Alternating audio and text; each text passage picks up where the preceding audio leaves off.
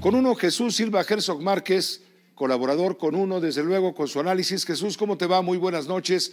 Vaya tema del 8M, ojalá no sea solamente para el día de hoy. Hoy escribías en el periódico Reforma que no es justo acusar a las feministas de haberse intoxicado con ideas extranjeras, como dice el presidente, que son movimientos que vienen importados, tóxicos.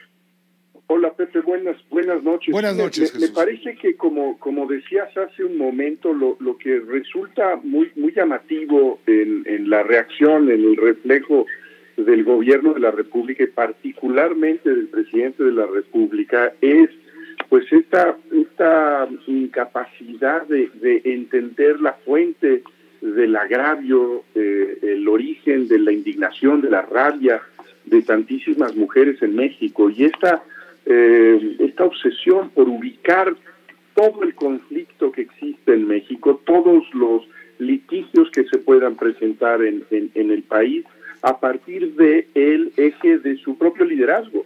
Y en ese sentido, si no se trata de un movimiento para celebrarlo, eh, él ubica al movimiento feminista como un movimiento que responde a los intereses de la, antigua mafia en el poder de los conservadores eh, que no están dispuestos a perder sus privilegios. Eso lo ha dicho eh, reiteradamente, lo dijo toda la semana eh, pasada, lo, lo confirmó el día de hoy, que no tiene esta capacidad para entender la fuente de, de la indignación de, de, las mujeres. Y en ese sentido, lo que creo que es muy notable, Pepe, es que el movimiento no nace esta, digamos, esta nueva eh, ola eh, eh, de rabia feminista, no, no, no tenía un origen anti-López Obradorista, no, no se eh, reconforma como un polo opositor al gobierno de López Obrador.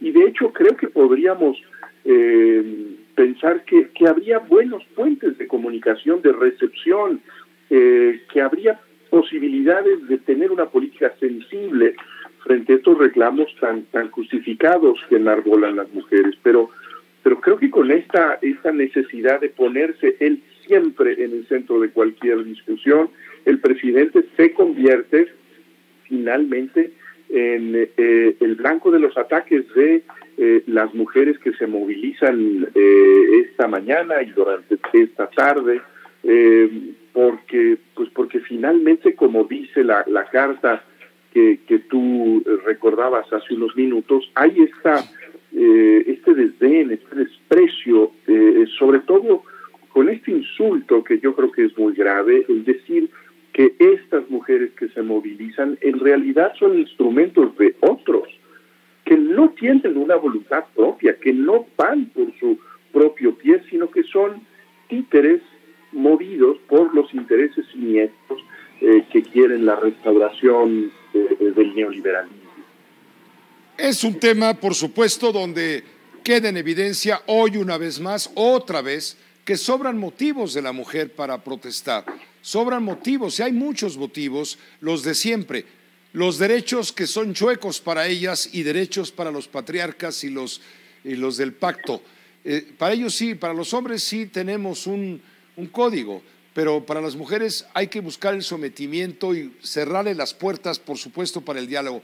Y en todo esto, ¿cómo encajas, por ejemplo, en esto que estás analizando del presidente, cómo encajas la, la necedad de apoyar a Félix Salgado Macedonio, un hombre probablemente eh, actor o, que cometió probablemente actos de abuso sexual, incluso de violación?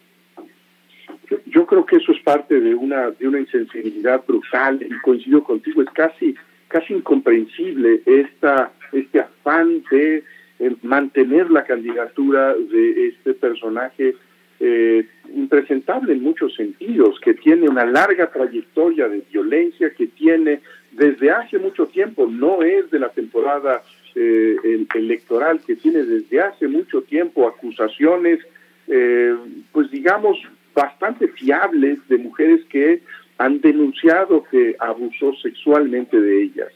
Eh, creo que esta, este anteojo que se pone el presidente de la República, en donde identifica que todos los críticos de su movimientos son eh, parte de esta conspiración neoliberal, lo hace eh, eh, abrazar, defender a capa y espada a este personaje que le hace un enorme daño a su proyecto político, que daña un, pues una energía muy importante que ha logrado movilizar Morena, que en buena medida tiene que ver con la con el impulso de las mujeres que difícilmente pueden sentirse identificadas con esta candidatura eh, francamente abominable. Tóxica, dirías. Tóxica, seguramente. Totalmente. Gracias, Jesús. Como siempre, muy buenas noches. Gusto en escucharte y saludarte. Pepe, muchas gracias. Un abrazo fuerte. Igualmente, gracias. Y verlo, por supuesto, a Jesús Silva Herzog Márquez con uno